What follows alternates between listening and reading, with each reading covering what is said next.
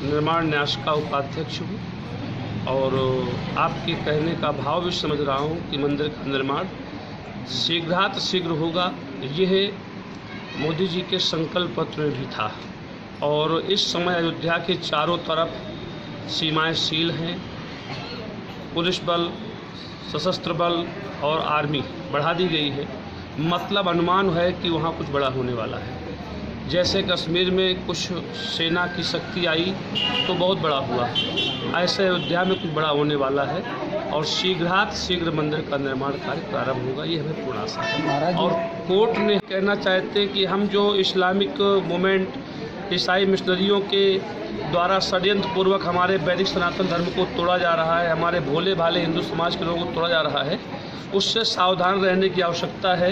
और हम छोटे छोटे जगहों पर जाकर इस समाज को नहीं जोड़ेंगे तो वो जाकर हमें तोड़ लेते हैं और बाद में वो एक विराट रूप ले लेता है।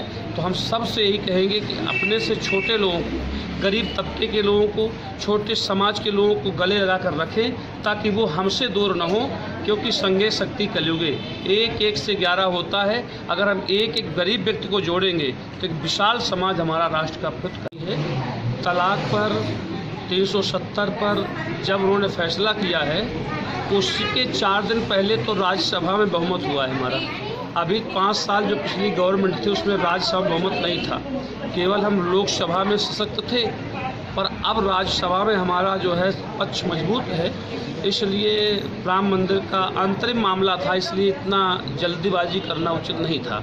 चूँकि अंतर्राष्ट्रीय फैसले हम ले सकते हैं तो अंतर्राष्ट्रीय फैसले लेकर पूरे विश्व को मोदी ने बता दिया है कि हम शक्तिशाली राष्ट्र का प्रतिनिधित्व कर रहे हैं। ये हमारे अंदर का मामला है इस पर अब कोई विवाद भी नहीं बचा है। तक बनेगा?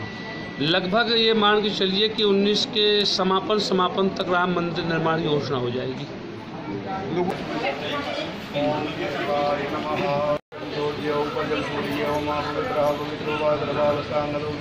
सूर्य